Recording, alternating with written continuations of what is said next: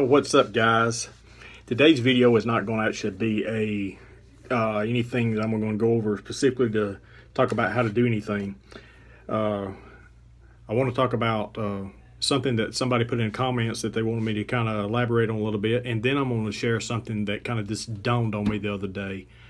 And uh, first of all, I want to talk about what uh, the person wanted me to elaborate on, and that was breaks and how to take breaks, when to take breaks, how does taking breaks work? Well, most of us get two 15 minute breaks a day and we get a 30 minute lunch break. And uh, personally, I take uh, my lunch break, I take an hour. I try to work that out where I can do that and just kind of skip my two 15 minute breaks because I have downtime in between doing things sometimes, uh, some days, and so it all works out for the good. Uh, here's one thing that I would say about taking breaks. Uh, you have to work that with, you know, according to your your system, your job, wherever you work, with your boss, whatever they say goes. Uh, but you are you are deserved breaks, that's for sure. Uh, don't skip your breaks.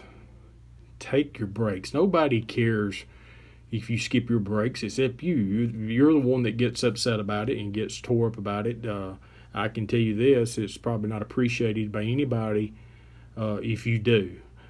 Uh, you deserve those breaks uh, because there's no story that goes that there was um, there was two guys that were uh, going to see who could chop the wood most wood, an old timer and a young guy. And the uh, the young guy, he chopped wood and he chopped wood and he chopped wood, and he didn't take any breaks at all. Let's say that they had a five hour time that they had to see who could chop the most wood. But the young guy didn't take any any breaks at all. And at the end of the five hours, the old guy had uh, chopped more wood. But the young guy said, I don't understand. I seen you taking breaks, and I didn't take any break at all. But you ended up chopping more wood than I did. How's that possible? And the old timer just looked at the young guy and said, Well, when I was taking my breaks, I was sharpening my axe.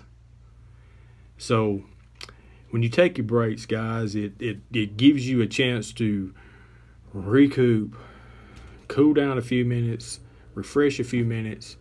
And uh, I go even further to say that I would uh, even take my holidays, you know, take those vacations, take those holidays when you can, uh, those times off. Uh, uh, being with my family is refreshing, and that's, you know, uh, I work to live, not live to work. So, yes, definitely take those breaks. Now, uh, the other day, can't hardly see this broom. Yeah, I'm parking back here. The other day I was cleaning a room, and this just came to me. And uh, I, I wrote this down. It's very short, and I'm gonna read this right quick. But oftentimes we look at our job and we are like we feel like we're not appreciated sometimes or what we do when we go back and I joke all the time about five minutes having to go back and do things again.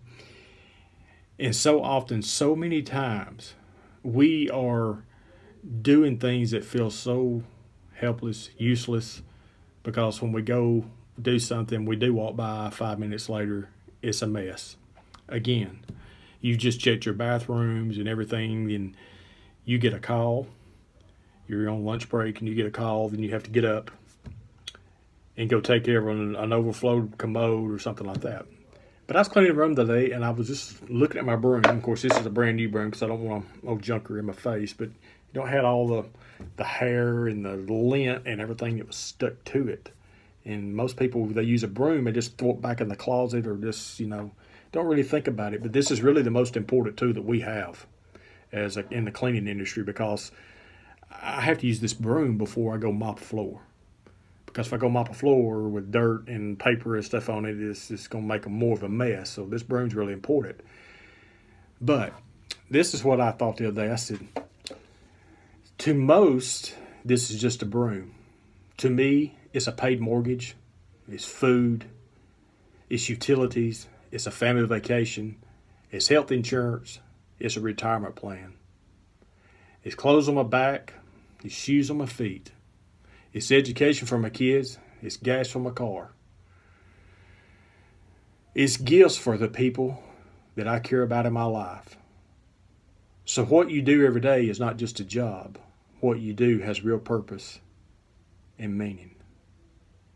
So, to say that, to say this, this job and this broom is all those things the paid mortgage, the vacations, all of that. So, what you do every day is important.